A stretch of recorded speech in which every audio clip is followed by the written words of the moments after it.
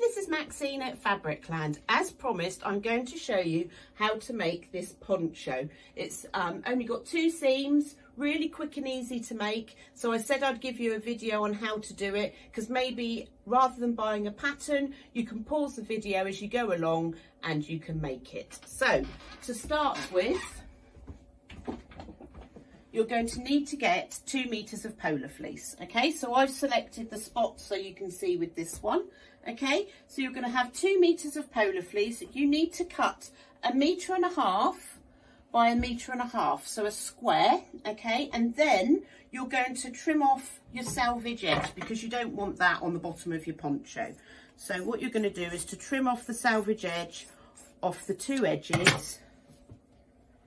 Okay, so you're going to end up with a square like this okay? So it's got no selvage edges on it okay? Then what you're going to do is to fold this into four. So like into squares if that makes sense. So that's one. And then you're going to fold that.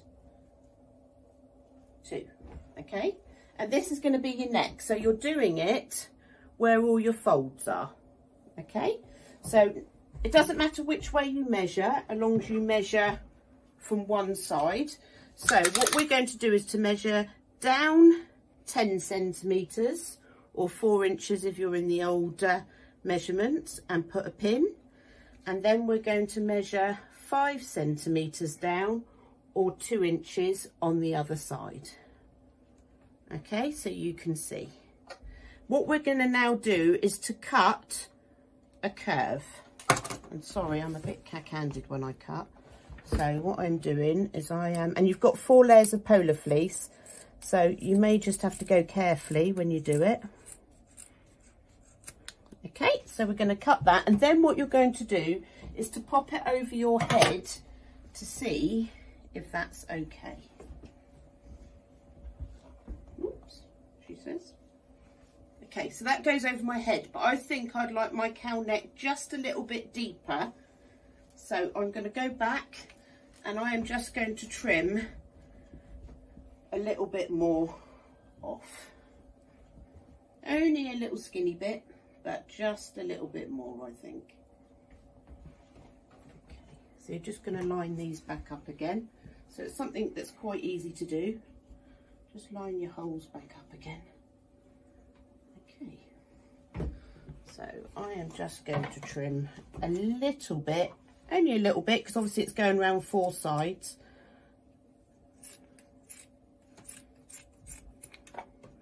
Just going to trim a little bit more because I just would like it a bit deeper. So, and if you want to do this for children, you can. You just got to make your square not as big. So maybe do like a metre square for children. Okay, so now I've got my hole. Now, what you're going to do is you're going to use the tape measure and measure about a centimetre down using a flexible tape measure. Okay, and you're going to measure the length or around the circumference of the hole.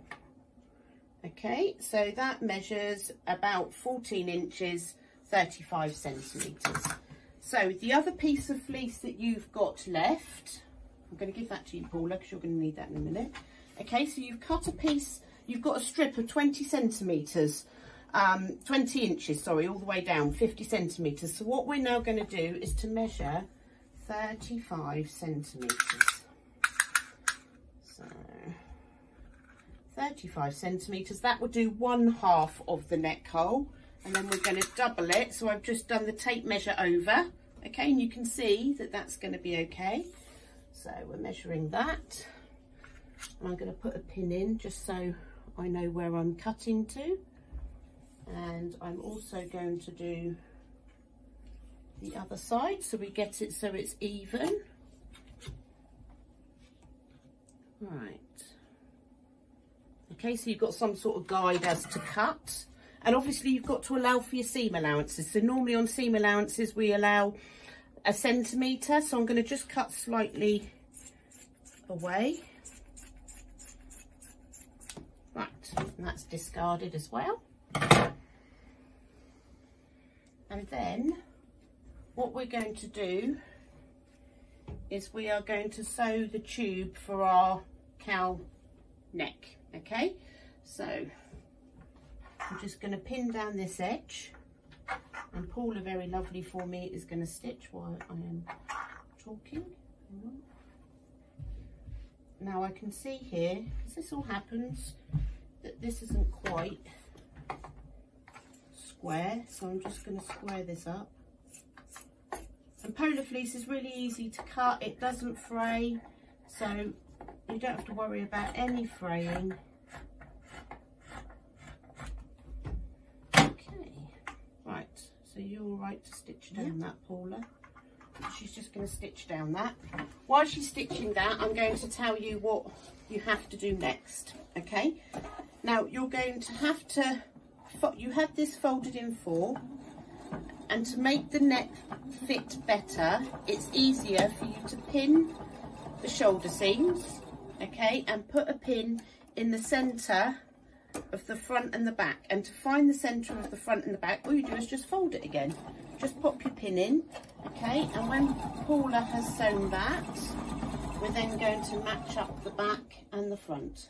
A really small stitch, Max. Would you just like to? Um... Yeah, no problems. Just um, make that a bit longer.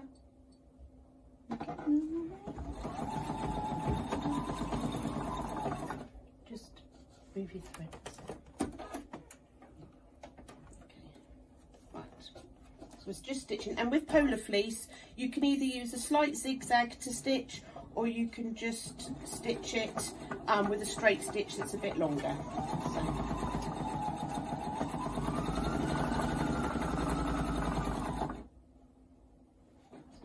So just doing that for me.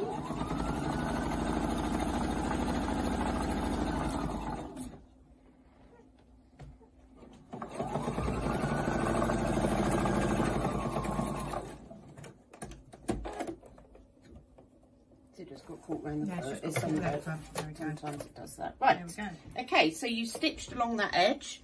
You're going to take your pins out, okay? And then what we're going to do is going to turn this inside out. Oh, if I do it that way, that's easier, isn't it? Sorry. Just getting my brain in gear as to how to do this. Okay, so what you're going to do is to put the right sides together inside okay so you can see I've just flapped that in. Now you need to put the center seam at the back and you're just going to match it and pin that. Okay and if you do if you fold that in half you'll get your front seam. And pin that okay. And then if we do that in quarters you can then see side seam here.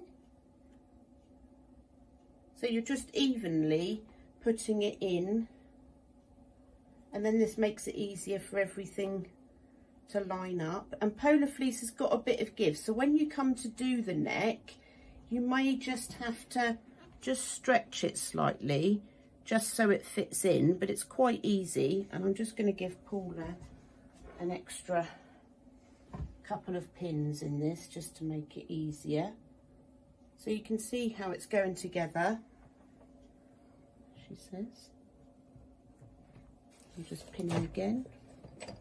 So I'm pinning it inside the quarters, as they say.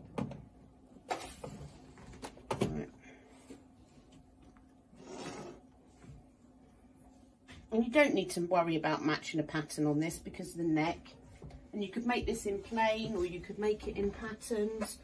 So there's lots you can do. Also with polar fleece some people may not be aware that you can actually fringe it. So what you can actually do is all you have to do is just snip it. And if you wanted on the bottom of your poncho especially children's ones would look quite funky you could just fringe it can you see? You can fringe it. Also, if you wanted to do a seam on your um, poncho, all you'd have to do is just literally turn the edge over and you could just seam it and hem it because it doesn't fray. So no fraying goes on. Okay, how are we getting on? All right. We can see this is coming together quite quickly. So if you've got a free arm on your machine, you may need to take it off um, any tool bits so you can actually get this inside. So Paul is just stitching. And you've got a lot of thickness there, but if you use um, a, a, machine needle that is a 100 or a 16, um, you shouldn't have any problem at all.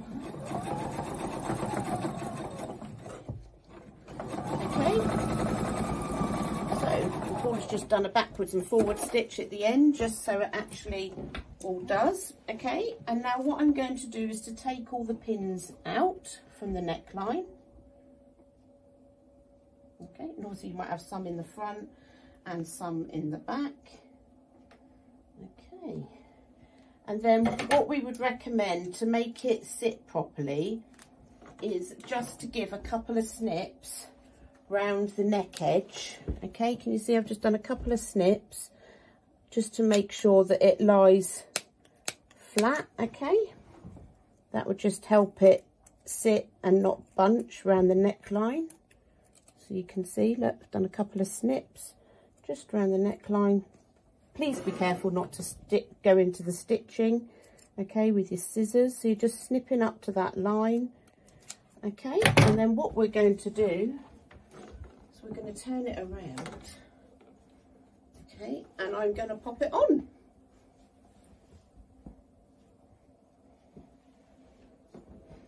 And as you can see, whoop, a lovely poncho. This would look lovely with some jeans um, if you were going to pop to the shops or you want to keep warm in your house this winter. So come and have a go at our DIY poncho. Goodbye.